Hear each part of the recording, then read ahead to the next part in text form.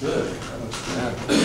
This is, uh, this is, this is actually the name of the battle in Confederate terms. They, they didn't call it Battle of Pea Ridge, they called it the Battle of Elkhorn Tavern.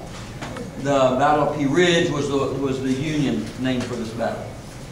And there is, um, that, that structure in the background is the Elkhorn Tavern, which has been rebuilt. It- It's burned down at least once and been rebuilt, and it looks just like that on the, on the battleground. Let's move to the, to the battle. This is the military park that's set up there. It's a beautiful park. If you've never been there, it it is a, it's a striking, uh, uh, memorial to this battle. It- The the gun, they have cannons all over the place, but, uh, uh, This, this represents essentially the entire arena of the battle of Pea Ridge. Uh, It's uh, in, I'll bring, bring up the part of Arkansas that it's in. Uh, If you see in the top of the map there, you'll see the name Pea Ridge. What that is, is a rock formation that runs for, oh, I don't know, maybe five miles or so.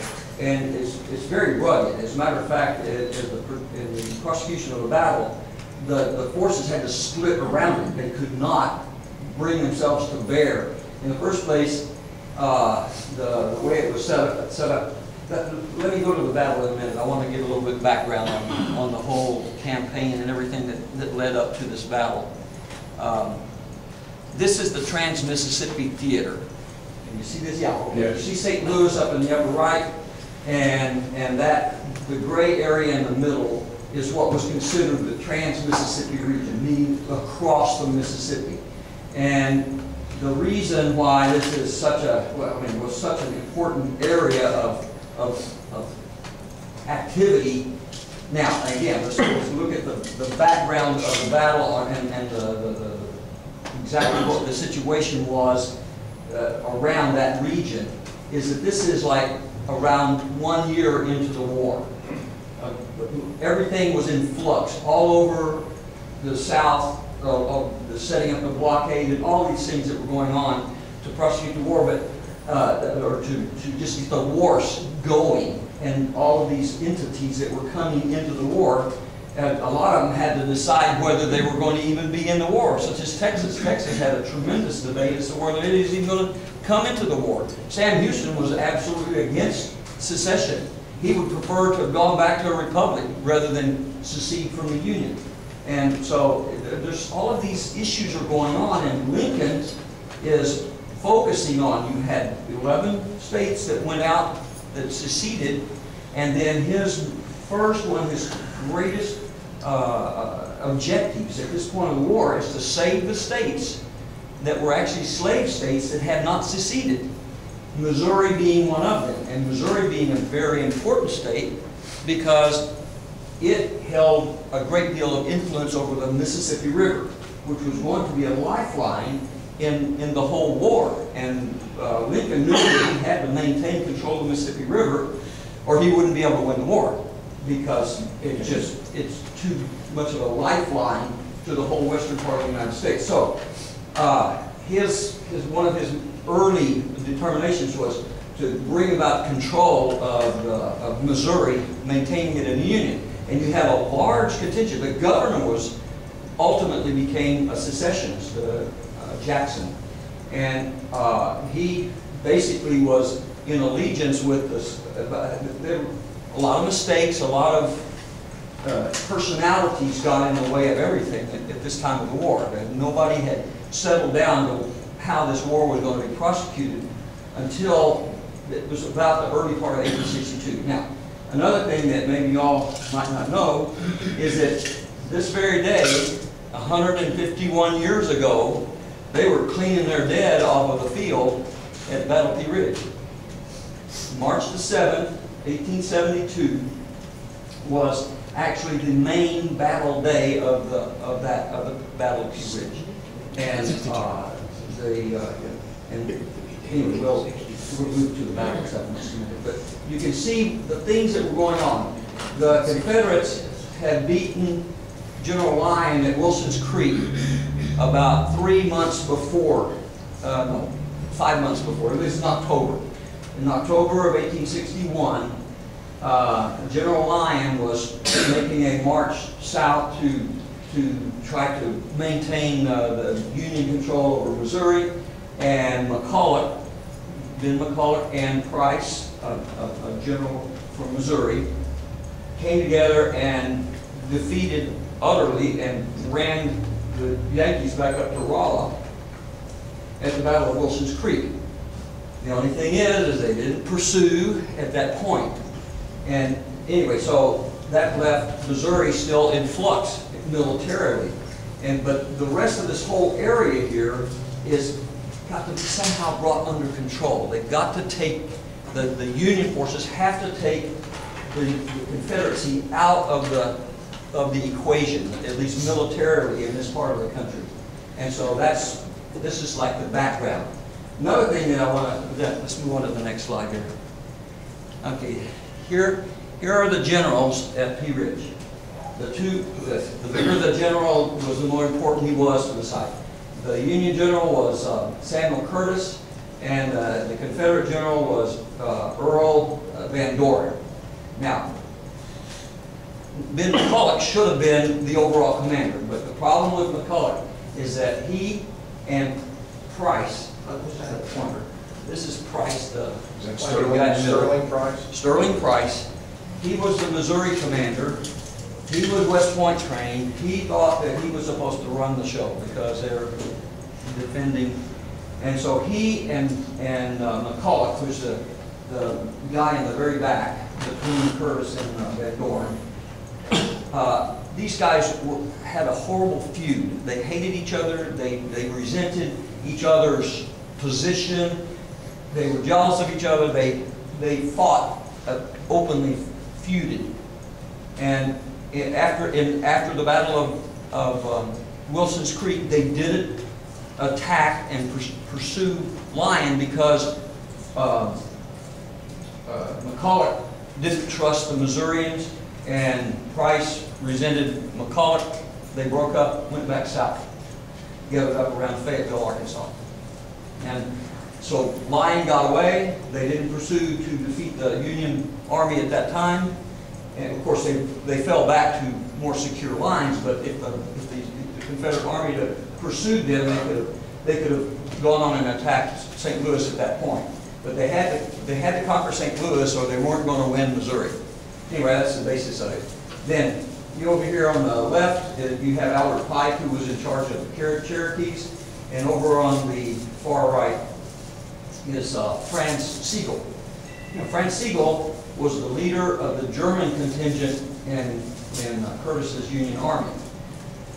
He was a German immigrant, and most of his volunteers were German immigrants that didn't even speak English. And they came into war, and it's been well documented that the, the German immigrants were far and away more uh, sympathetic to the Union cause. Uh, They had come for the values that they saw in, in the, in the Union philosophy, or the, the uh, Northern philosophy of industry and, and, uh, uh, any- not going into all those details, he, he was the leader of that group. And it's ironic, well, somebody remind me to tell you Sigel's outcome a little bit later on, because I want to go in and get into the battle itself. Um, Those are, those are two maps that we will see in, in a larger format. This is March the 6th. This was a situation. Curtis had brought down this army, a very well-organized army of, of 10,500.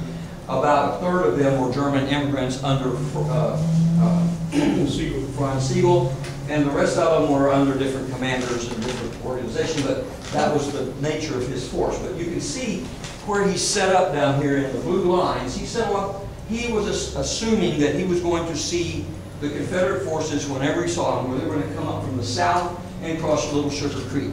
And so he was set up on the, the on the, on the, the, the high ground above the creek, and uh, what you see coming across the, what they call the Bentonville detour, which is still, if you looked on, if you can see on the map of the, of the park, it's still a road there today, the, the Bentonville detour.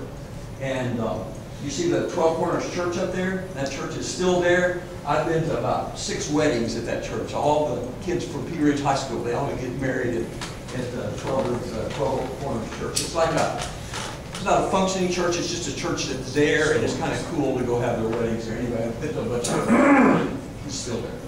Anyway, so what happens is that Van Doren, he has taken over control of his army because McCulloch and, and Price cannot get along.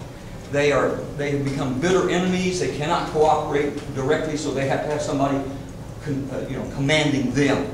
And that's the reason that Earl Van Doren is there. Problem is, is he's not, he's, he's got some character flaws. And so he's not the best commander to, to command two strong-minded generals.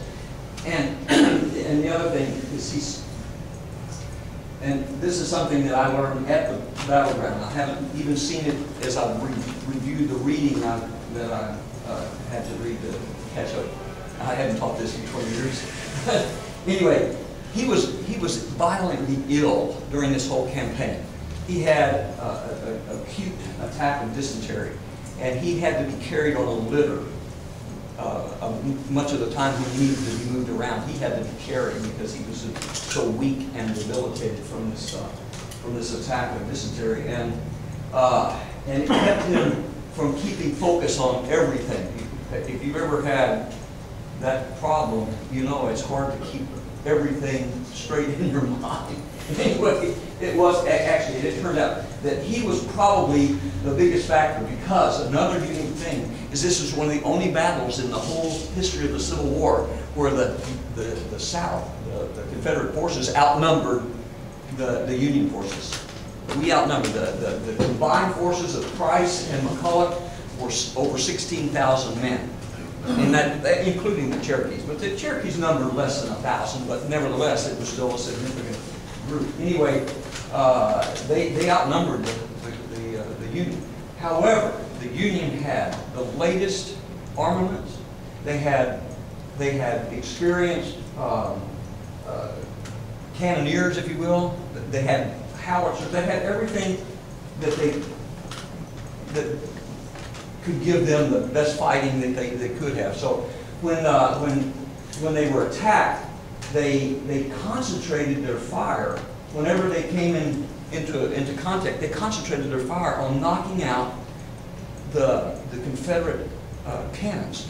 The, and so by the end of the second, by the end of the seventh, the Confederacy had very little cannon to bring to bear on, on, and cannon made a lot of difference when, it- when, when you do the cannonading and then you attack by infantry, and if the infantry's out there exposed to this incredible uh, canister and all that, and they were, the, the, the Union was well armed. Anyway, but nevertheless, the, the force of numbers is going to make a lot of difference, and, uh, so, on the night of the sixth, uh, Earl Van Doren, his, his uh, whole uh, strategy was to catch them by surprise on their flank, which he did. The thing is, is he had marched these people like for three solid days to get in place, three days. And this is a horrendous snowstorm going on. This is, I mean, if anybody's ever been in, I lived there. We can, you can get some very, very bad winter weather there. And they had as bad a winter weather as you could get. And they were marching on the, on the, you know, through the night, forced march for three days. They only had three days of rations. Each man, when this, when this whole uh, uh, process began from probably Fayetteville or thereabouts, when they were marching up, they, they went around through Bentonville and they came across country. And from Bentonville to this area is not two mountains. I mean, it's just rolling hills. These are actually some of the first mountains you come to when you call mountains. I mean, this is the Ozarks, they're not real huge mountains. And you see what they call Big Mountain, but right, really, in, in reality, that's really what people consider to be Pea Ridge. What you see up there is Big Mountain, that's Pea Ridge. And, uh, and so when they got there on the night of the 6th, they're worn out, they're hungry, and they, they, and Van Doren, you see where he is up at the top of the map. He moves into that position and then splits his force. Price on the right and McCulloch and Pike with the Cherokees on the left. Now, Pike, under, under McCulloch, you have McIntosh, who's another able commander. I don't know where he's from, but he, he was considered to be a very able commander. Okay, so they began their attack on the Union position like at dawn, maybe before dawn. They're moving in position and they attack. But they haven't been there long enough to get a real good feel for the, for the, for the field of action. And so when they attack, okay, first they attack, uh, this, the, the left side over here is called Leetown. The right side is called Elkhorn Tavern. That's just the names of the two fronts on the, in this battle. Now you see that, that uh, Curtis is set up here al along the creek, but he's got, he's, all he has to do is turn his, everything around and head back through the trees. All of this is very, all of this is very wooded. This is, this is open pasture, basically. This is all extremely wooded, so the Union is hiding behind the trees, basically, and I mean, in their formations. And they got their, their cannon positioned to uh, strike out. Let's, let's go look at, um, at the March the 7th. Okay, so here Curtis starts driving on Leetown with um, Osterhaus and some of his other colonels and whatnot are headed towards Leetown, which is this open pasture area. And Price is coming around now. You see, it, they're not coming at the same time. This is another problem that, that the Confederates have to. McCulloch is coming through with his people uh, at the very beginning of the day.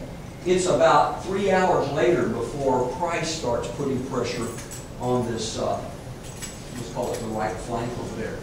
Anyway, so McCulloch is moving through as they drive these people back into the woods. Uh, they, they drive the Union forces back into the woods at Leetown. And they, they basically broke and just scattered back into the trees to reform, to regroup. And so McCulloch, he's one of these daring, extremely brave, valiant knights in shining armor kind of thing. He didn't have shining armor, he only dressed, he dressed down, he didn't dress up. He'd been a Texas Ranger. I'm sorry? He'd been a Texas Ranger. He, well. yeah, for many years. And an Indian fighter. And the guy, he related to his troops, his troops related to him, they revered him. He was one of the most popular commanders in the early part of the war anywhere because his, his men were just absolutely devoted to him. And whatever he said, bam, they just went to do it. Okay, he goes, he decides he's got to go see what's going on because he doesn't know this place. He only is, so he rides through his troops to get up and get a good view of it, and he got killed, shot through the heart by a Union sniper at like 9.30 in the morning. Now this is after they routed uh, the, this left flank over, this left side of the battlefield. They've routed the Yankee uh, uh, infantry and everything. They were pouring back into the, and he goes up to see what's going on. He got killed, dead. Okay, they inform McIntosh that McCulloch's killed, meaning he knows that he's in charge now. And so he leads a charge to go recover McCulloch's body, and he got nailed. Within minutes, he got killed. McIntosh, this is McCulloch's second in command.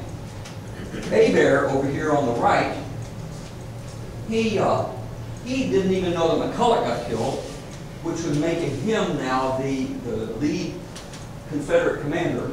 He doesn't know it. And so he finds a hole to charge through the Union lines, and he winds up going too far and getting surrounded, and he got captured.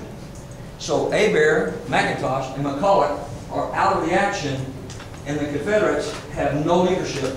They don't know what to do because what? They've been marching all night to get there, just to get started, and then there's nobody there to tell them where to go, what to do, how to pr proceed. And so they just basically fall back in confusion. And the Yankees are beat up really bad, so they don't pursue them at that point. They just turn around and head back up towards the backside of Pea Ridge. And eventually they're going to link up with the rest of the troops over there. Meanwhile, about this time is when Price becomes, comes into action. Well, by the time Price comes into action, and he is making big inroads, I mean, he just pushes them all the way back down to let's, let's go over and look at the, the Battle of, that's Leetown. This is another picture of it. I was gonna go into this, but it's so complicated, it's hard to see what's going on, so we won't worry about it. Here's the Battle of Elk Horn Tavern. And over here, you've got Price with all of his people, and they push down, and if you can see these dotted blue lines, that's the retreat of the Union forces. So Price is actually moving the, the Union army out and pushing them back down into the, uh, the lower part of this area here. But you can see all those dotted lines. That's the Union retreating, because when Price actually gets things moving, he just sweeps them out of the way, and they back up. And Carr regroups and he finds these troops that have been relieved from what was going on at Leetown. They come up and they stop the Confederate advance. And so at this point, by this time, day is starting to decline and, uh, and these, these forces are, you know, scattered and, and mixed up and everything. And so it's time to regroup. And so as they, as they pull back at the end of the, of, uh, March the 7th, the, the South is still basically won the field. They routed them in Leetown, they routed them at Elkhorn Tavern, and they, they've, uh, they, they need to regroup now to make that final push to finish them off the next day, which would be March the 8th. And everybody's anticipating what happened, okay? Well, this is what happened, okay? On March the 8th, Van Dorn suddenly realizes that he's lost his supply train. Through his own neglect, he didn't coordinate right. Another thing that you learn at the battleground when you get some of the more in, the, the details of the story is that he had sorely offended the major or the colonel who was in charge of the supply train, and this guy took the supply train and went back to Vietnam basically a day's march away. It's not that far. I mean, you can drive it in like 10 minutes, but at that time, the wagon train with all of the supplies and ammunition. So essentially, he still has a, an army that is significantly larger than the Union Army. The Union Army is battered, but they still have their cannon, their howitzers, their, their really top of the line ordnance and the Confederates have been losing theirs, like every time they shoot, they, they shoot, they, they blow up a, a Confederate caisson or a Confederate cannon, and they don't have one to replace it, of course. Now, not only that, they are completely out of ammunition. These guys have been fighting for a whole day without rations. And so, basically what happens on the morning of the 8th, uh, Curtis attacks with his artillery and his ground forces, and I can't remember which one of the of the of Van Dorn's commanders goes in and feints as if the whole Confederate army is going to attack the the, the, the advancing Union forces, while Van Dorn sneaks his whole army down Huntsville Road and essentially escapes. Because if they would have gone up against this advancing Union forces, they would have been annihilated because they were out of ammunition, they had no more cannons, and so I, am sorry, I, I, thought I was going to remember this detail, but since his name is not on there, I can't remember which one it was. But one of the Confederate commanders feinted towards them, and they thought, and, and, he, and he drew them away. I think maybe, uh, I don't know whether it was up, the, up this. Uh, up, to, up this north way. But anyway, Van Dorn took his whole army down the Huntsville Road and uh, essentially escaped. Because, I mean, he, he had the wherewithal and everything. It was just a lot of this thing was timing, it was personalities, and it was that early part of the war when people were still trying to figure out what they were going to do. What you know, and, and in, a, in a war footing, before you have this whole strategy worked out, then you have a lot of things that can go on that have nothing to do with, with fighting. There's nothing wrong with the Confederate fighters. It was the problem was is they they had been driven to exhaustion, and then when they have to go fight, they basically win the day. They won the seventh, but they woke up on the eighth defeated.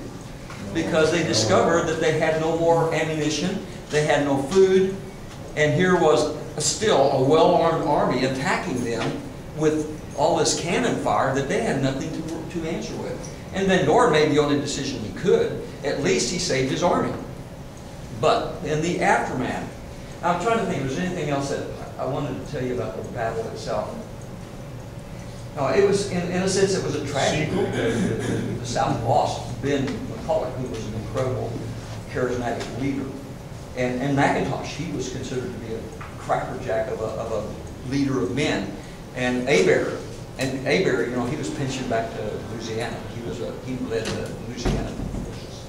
Anyway, so basically the whole aftermath, and this kind of goes back to uh, the picture of the, of the trans Mississippi. Let me see if I can, where is it? Where am I cursing?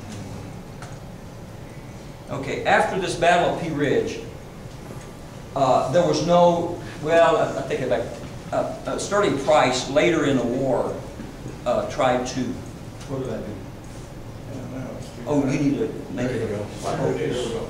Later in the war, in 18, early, uh, late 1863, Sterling Price tried to reestablish a force to, to, to attack St. Louis, but he, uh, he was uh, stopped at Westport.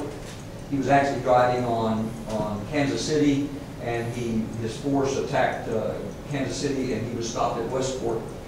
But he was trying to, you know, like flank St. Louis, and um, uh, it didn't work out, and so that was basically his uh, last, the last gasp of, of attacking and invading Missouri.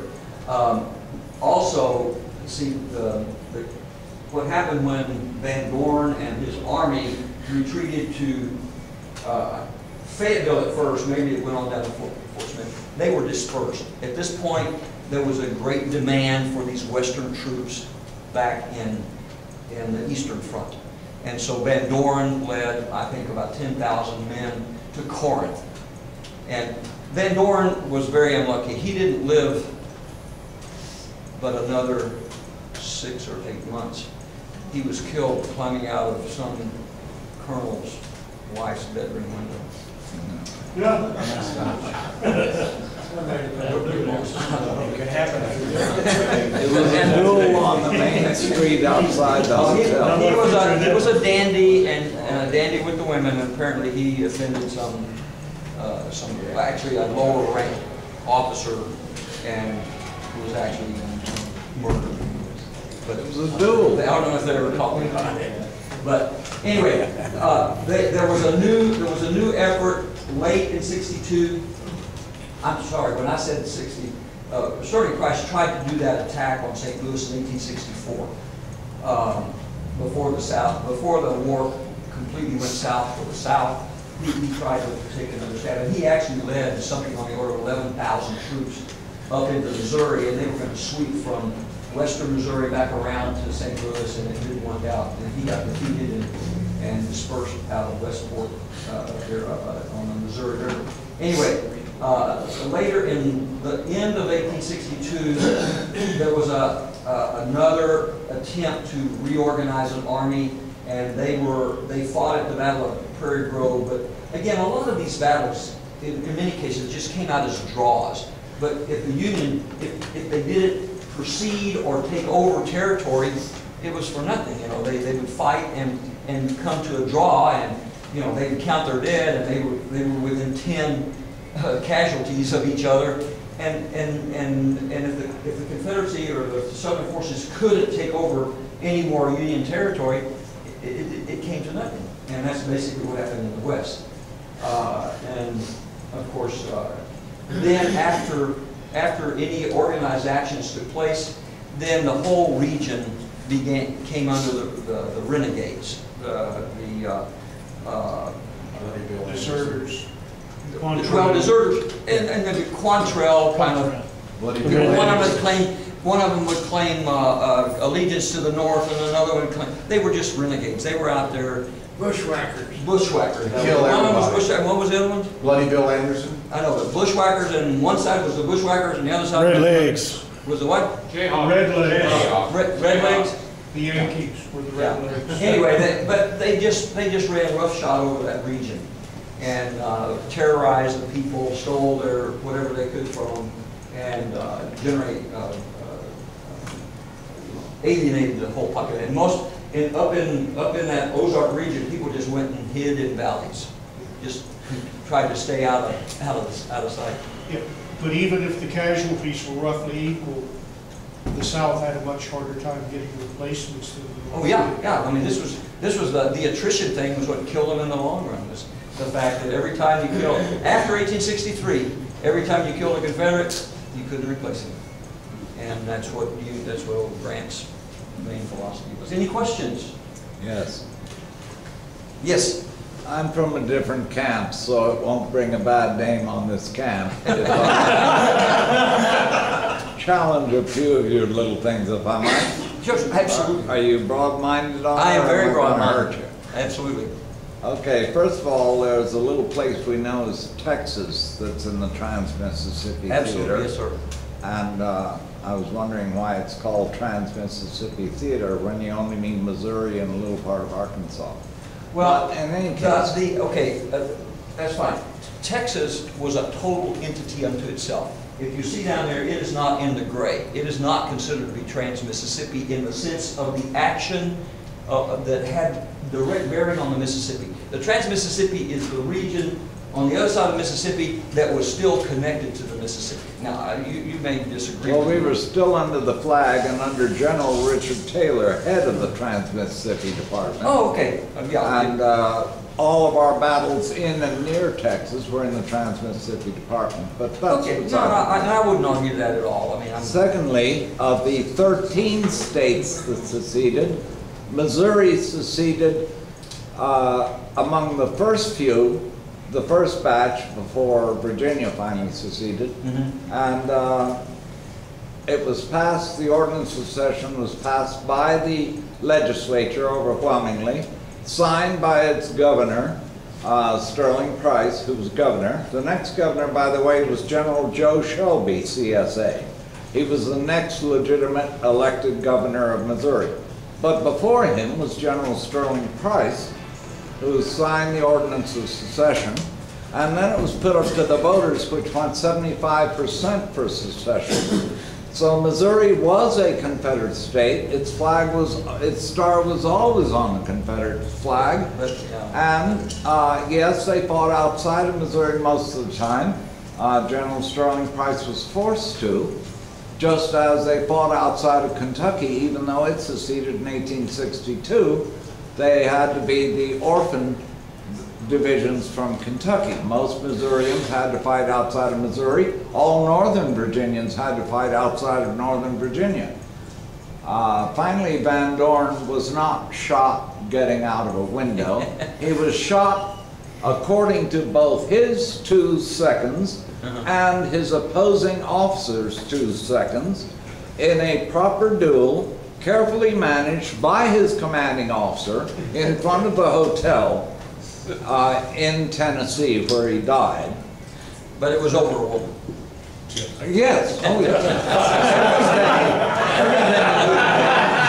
I- Everything I- we're about, yeah. You know, I, I, I, and I, I defer to you on that, absolutely, and I, it- it's just to me, it, it, I remember that the same story, I don't know if y'all ever heard of Simon Bolivar, who was the liberator, he, he, his- it was a great myth and legend that he Yeah. got shot climbing out of the window of a lover's. Well, he was One shot after he got out of final the little window. thing that isn't contradicting you, it's just a point of interest. Yeah. Uh, The Cherokees being all cotton planters in eastern uh, Indian territory, of course, hadn't seen any Indian clothing for generations. They were 90% Scottish by that time. Their chief was Macintosh. And they had never seen a Cherokee costume, so they ordered it from a theatrical company in New York City, which was New York City? Yes. And what that company, being half owned by a gentleman named Abraham Lincoln, did was get a pass, as he gave all of his companies passes to trade between the lines. And uh, as long as he got his share. Okay. Mr. Lincoln gave the uh, permission for 5,000 uh, Lake Huron Indian uniforms to be made and to be shipped to the Cherokees so that they can fight in Indian costume, which they did. Well, I now- need, I need to cut this off if I Yes, sir. can, And I- we're gonna run, we're Thank you gonna very run us much. out of here. Thank you, sir.